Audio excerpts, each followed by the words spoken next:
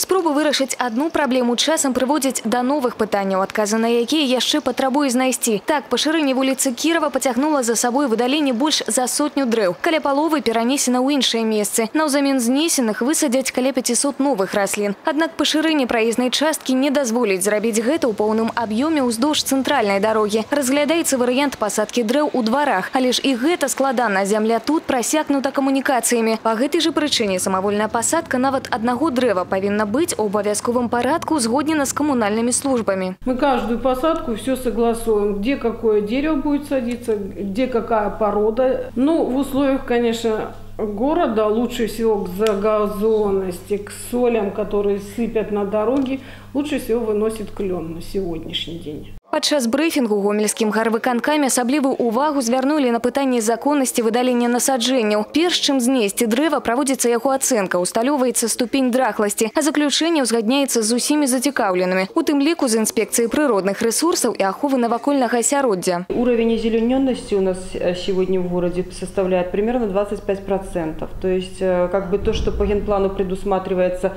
до 2020 года до 50% озелененности, на сегодня сегодняшний день цифра у нас в общем-то, наполовину. Рэканструкцыя цеплавых сетак на бульвары Перамогі таксама прывяла да выдалення дрэў. Пяць з іх было перасаджана ў іншыя месцы. Новыя аблічча мясцовыя жыхары ўспрынялі хваравіта. Аднак усе пасадкі будуць кампенсаваныя ў поўным аб'ёме. У планах таксама масавае азеляненне раёнаў новых жылых забудоў па вуліцах Чачэрска, Свірыдава і Макаёнка. Ганна Кавалёва, Сергей Клімовіч, тэлерадыёкампанія «Гомель».